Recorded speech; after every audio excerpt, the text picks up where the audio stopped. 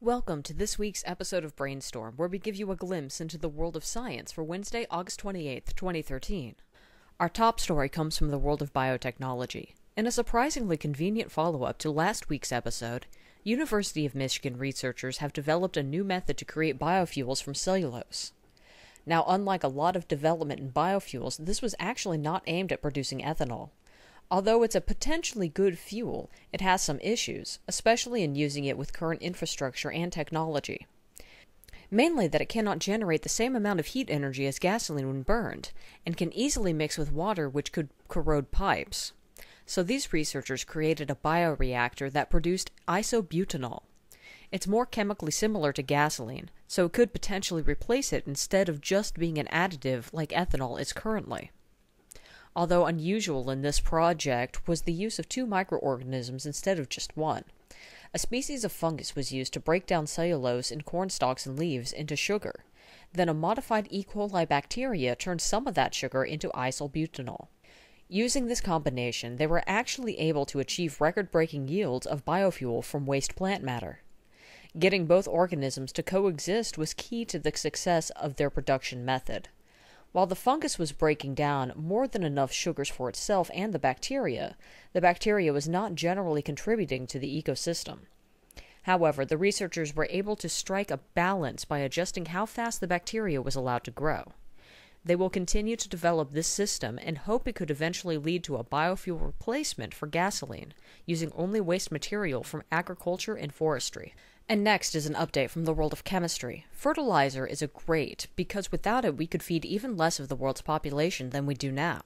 But there is an issue. Excess nutrients from this fertilizer can run off and contaminate natural water systems. Things like excess phosphorus in lakes or the ocean can create massive blooms of algae.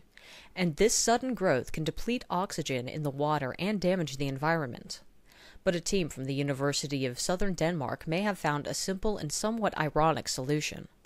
When buildings are torn down, it produces a lot of waste, but leftover concrete may be the key to reducing phosphorus. You see, concrete contains cement, which itself contains calcium with some aluminum and iron, all of which can bind to phosphorus. They actually found that filters created from waste concrete could absorb 90% of phosphorus when placed in a stream. It was only a six month study, but they are confident that this could be scaled up to protect marine environments. The most efficient was concrete dust due to the maximization of surface area, and believe that such filters might even last several years, but more study is needed. We end with news from the world of biology. Here at Brainstorm, we prefer to cover positive stories to basically highlight how awesome science can be, which is why we normally don't cover predictions of global warming or ecological disasters because it's a real bummer. However, a year long experiment at San Francisco State University suggests that we may not be as screwed as previously thought. Their experiment involved a particular type of algae that is abundant in the oceans.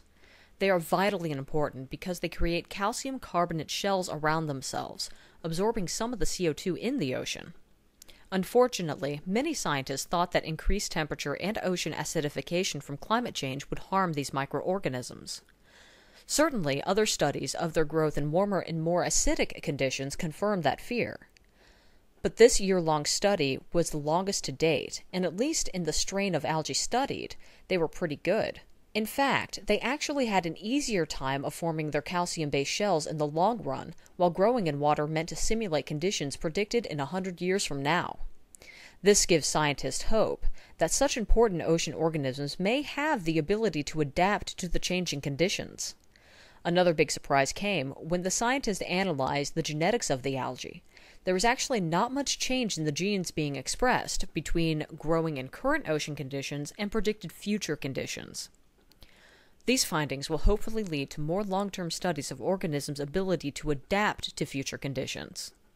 Well, hope you enjoyed this episode. In reference to our first and second story, what waste material would you find a creative use for? Let us know your thoughts on that and all the stories in the comments.